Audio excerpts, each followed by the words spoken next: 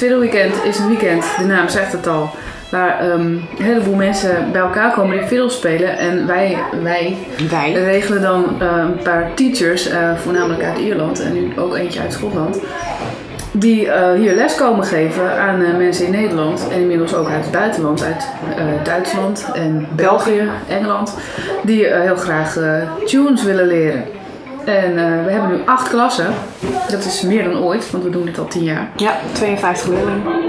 En ehm, dat gaat hartstikke goed. En s'avonds zijn er sessies. En overal waar je loopt door dit dorpje hoor je violen, violen, violen, violen.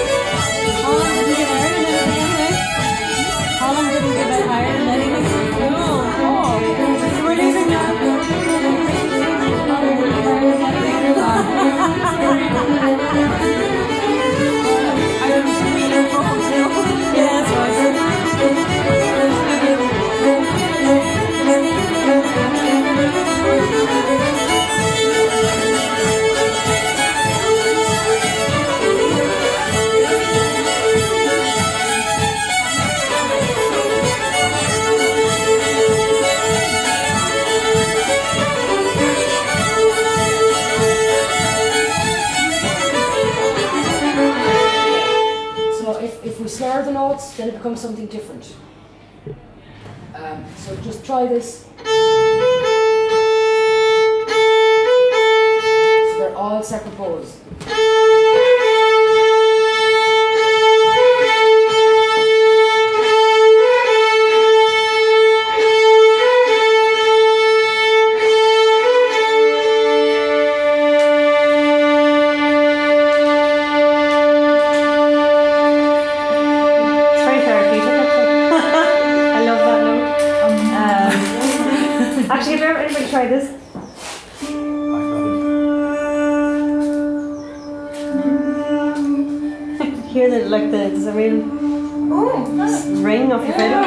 Usually kind of concentrate on how we can bring people, each person, to the ne- their next level. So that's, I think that's what I teach best, um, and I teach adults best as well. So, uh, and and they all are so they they they can understand what I'm saying, and they know you know they they understand that there is a goal, and you get to that goal, and then you you know there's certain things that you do to get to that goal, and then there's the next goal, and so um, I, I love teaching that. That's what I I love doing that. perpetuals.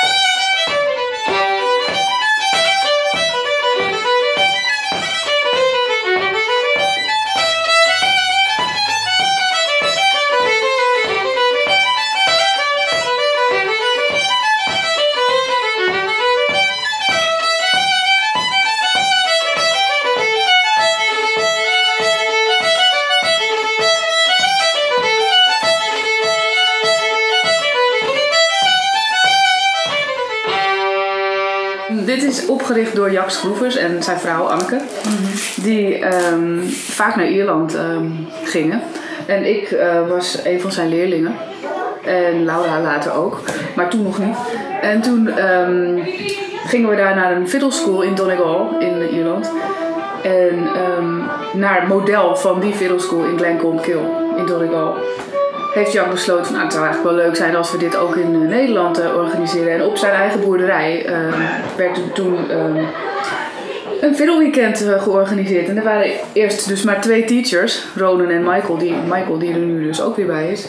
En dat is zo de hele tijd gegro- gegroeid en nu zitten we met acht klassen. Wat vooral leuk is, is we hebben het zien, zien groeien van niks tot wat het nu is geworden. Ja, want En eh, ja, dat is geweldig. hoe was het tien jaar geleden? Nou, eh, Was het klein, klein, ja. beetje amateuristisch. Het En niveau eh, van de jonkies eh, was. ehm, eh, Nou ja, beginnertjes. beginnetjes allemaal. En als je nu eh, die kleintjes eh de melodie leert, dan pakken ze het op en eh, ze doen het gewoon. Ja, absoluut.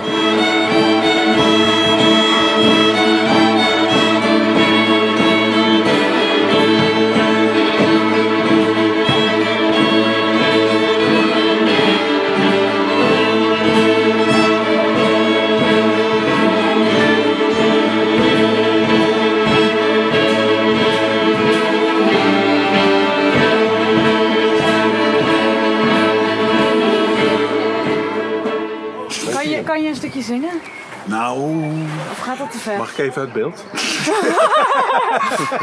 Eh, het was dus altijd bij Jack en Anneke op de boerderij. Nou, dat werd op een gegeven moment te klein. De- dat, dat, dat kon niet meer. Ehm Jack is er ook niet meer, dus de- ja, daar moest wel iets veranderen. Dat was natuurlijk heel naar dat hij niet meer is, maar er moest wel iets eh, veranderen. En toen ehm, heeft de eigenaar van de Irish Cottage, Paul en Marjan, die hebben gezegd, nou het kan wel bij ons. En in samenwerking met de buren hier, Carl en Tanja en Ron en Anja, die hebben hun schuren, eh, huizen, eh, camping, ehm douche, cabine ter beschikking eh, ja, gesteld. eigenlijk alles wat privé is, dat staat een weekend lang open voor iedereen. Dat is geweldig. Als je dit soort mensen niet, niet hebt, dan, dan kun je zo'n weekend niet organiseren. En ehm, daar zijn we ze echt ontzettend dankbaar voor.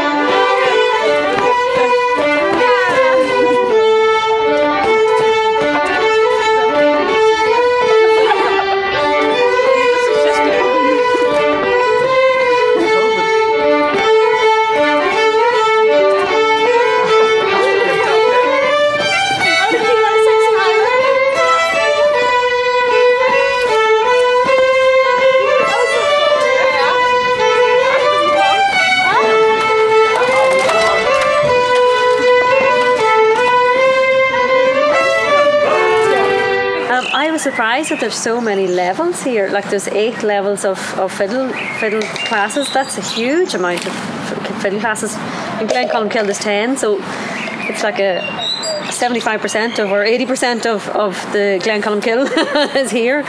So um, it's like a mini Glen Columkill. It's great. the real link.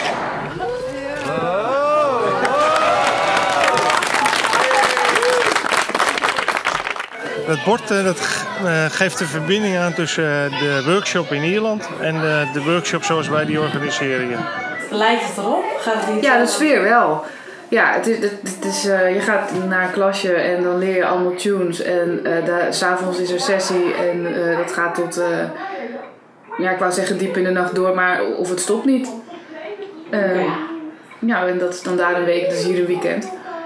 En eh, de, dus de sfeer is op zich wel vergelijkbaar met al die, eh, ja, gekken zeg maar. Ja. Die, eh, ja, gewoon niks liever doen dan alleen maar tunes spelen. Nou, en hoe gaat het er hier aan toe, zo'n weekend? Gaat het, eh, hoe is de sfeer? Kan je daar wat over zeggen? Ja, de sfeer is wel heel goed. Er is eigenlijk nooit eh, gedoe of eh, iedereen is over het algemeen vrolijk en positief. En ze vinden de workshops heel erg leuk en ze leren er veel van. En ja, eigenlijk iedereen is gewoon vrolijk.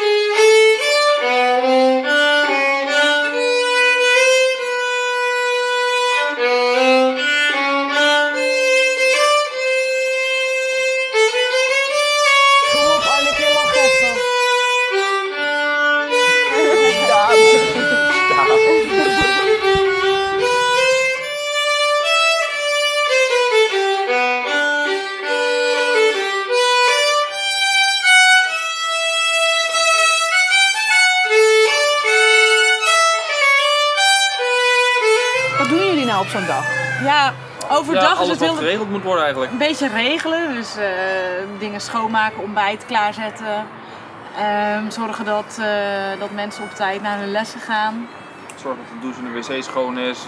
Inderdaad alles klaarzetten voor als mensen pauze willen. Gewoon alles faciliteren om de lessen heen. En tussendoor een beetje muziek maken en prosecco drinken. Ja. En s'avonds uh, met de grote mensen sessie. En tot diep in de nacht uh, feesten. Feesten? Sorry, wat ben jij nou aan het doen? Je doe dat de- even uitleggen? Ik doe de, de point. Point. Shake, shake, shake.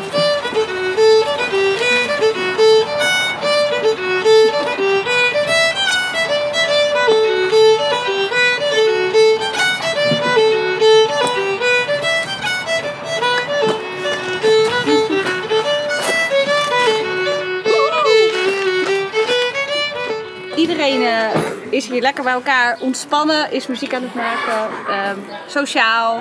Het is gewoon een hele gezellige sfeer, vind ik. En dragen jullie nog een beetje bij aan eh, het Ierse gevoel in Nederland? Nou, dat vind ik wel. Zeker met ook al die Ierse teachers. Ja.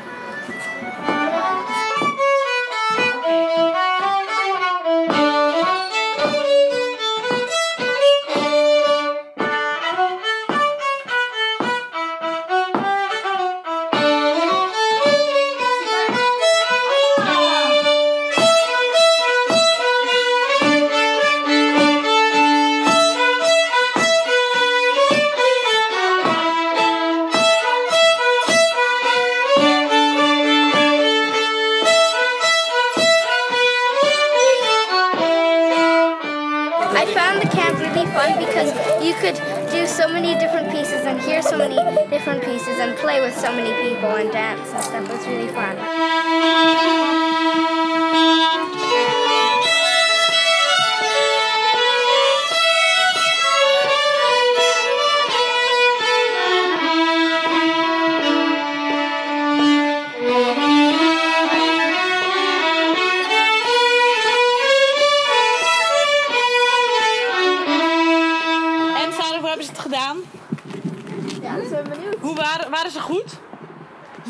Natuurlijk.